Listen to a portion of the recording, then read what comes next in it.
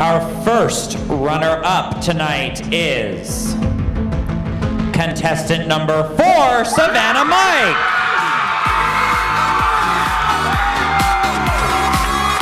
That means Kaylee Garris, you are Miss Connecticut Teen USA 2019. There she is,